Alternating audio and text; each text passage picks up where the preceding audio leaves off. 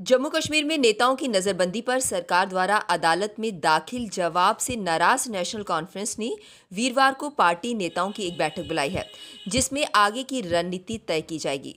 Party अध्यक्ष फारूक अब्दुल्ला की ओर से वीरवार शाम पाँच बजे बुलाई गई बैठक में पार्टी के वरिष्ठ नेताओं में अली मोहम्मद सागर, अब्दुल रहीम राथर मोहम्मद शफीउरी समेत कई अन्य नेताओं को आमंत्रित किया गया है।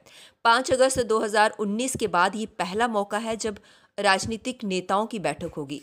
मालूम हो कि सरकार ने हाईकोर्ट में जवाब दाखिल किया था कि पार्टी का कोई नेता नजरबंद नहीं है।